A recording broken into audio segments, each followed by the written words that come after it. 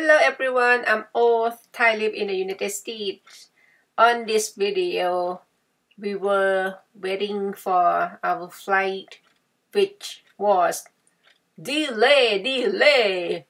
Anyway, we, we were sitting and waiting in the evening from Philadelphia airport and we'll get to the next destination which is Salt Lake City here.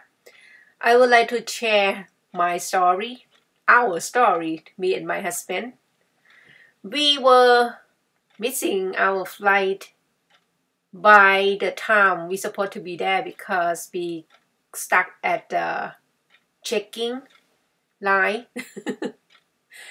we were supposed to to be on the plane at 7.15 but we got to the gate at 7.15 which the gate already closed. So we contact to contact at the counter and figured out. At first we got at 10.30 but the staff said they could not guarantee if we really really get there on time because we have to do two transits, but they offer us another choice at 5 and guarantee that we will get there for sure with one transit.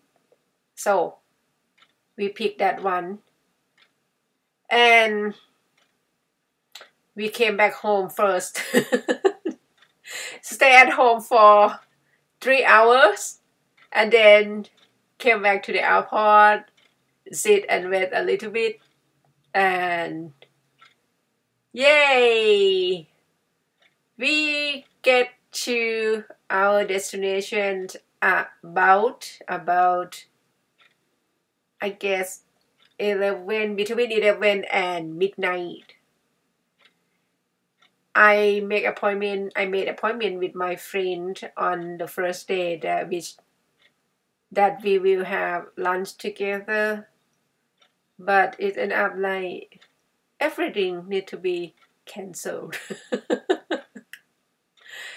This is my my very very first time missing the flight and luckily that he is with me but he is very very frustrating because we're supposed to be there in the afternoon and spend half day on the first day do things. But end up like we stuck at the airport and go back home and come back to the airport again. So I am not I am not really really upset because I always think positive. Everything I can control that's mean I can't control. I have to do what have to, right?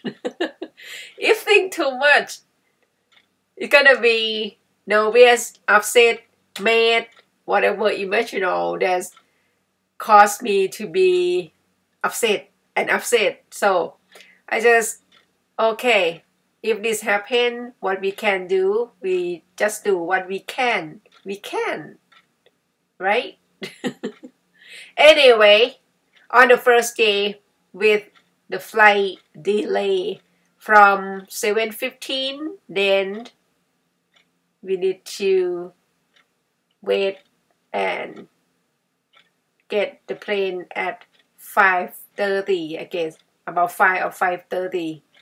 Luckily, we don't need to pay for parking because they, they didn't charge us at all we park at private parking not far from the airport. So thank you for listening and be with me until now. By the way please come back and watching and listening to me listening to my poor english in other videos and for this trip still other videos more. Have a good day. Bye.